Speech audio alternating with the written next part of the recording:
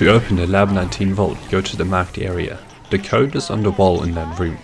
Wait for the code to be changed, then run over to Lab 19 and enter the code by shooting the left and right arrow next to each digit until you've entered the correct code. Whoa, that actually worked?